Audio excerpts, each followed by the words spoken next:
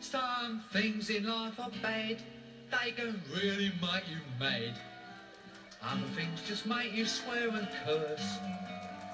When you're chewing on life's gristle, that grumble, give a whistle. And this'll help things turn out for the best. Hey, always look on the bright side of life.